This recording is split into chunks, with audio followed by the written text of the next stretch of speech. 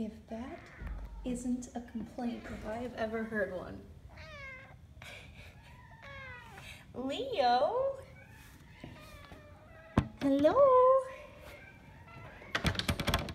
What are you doing? He is definitely trying to get attention. He put down his uh, skybox towel, his treats, and was whining under the door. Oh, still hissy?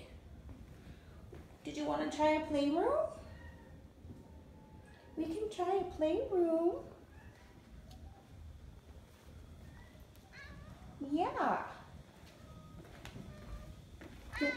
Yeah, do you want to come with me to a playroom? Good boy, you be brave. Brave, good boy. Let's try this one. Let's try this one. I know, a couple hisses. A couple hisses for the new smells. But what do we think?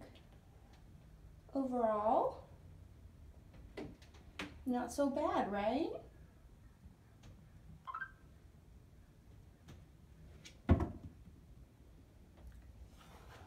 I know. Do you want to check out that tree? Hmm. Good boy. no, we want to go back to our room. We can't go in the potty. No potties. So that's as far as we get with hallway exploring. But you did such a good job. Of course you get a treaty. You get a treaty. And guess what? Your mommy will be here tomorrow. Good boy. You, how did you do that? That was amazing.